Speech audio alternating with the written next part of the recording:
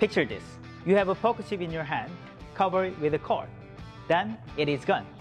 This may be the most magical vanishing. Hi, I'm Jeki Yoo. Oh my! Presenting Poker X, my captivating matrix routine. You start with four blank cards and four poker chips. Cover the chips one by one with cards and watch as they move to one spot one by one. The finale is awesome.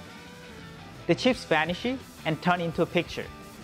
The best part, you can do it right in the spectator's hand.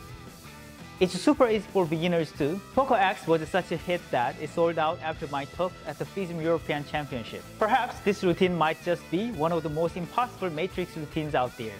Get yours now!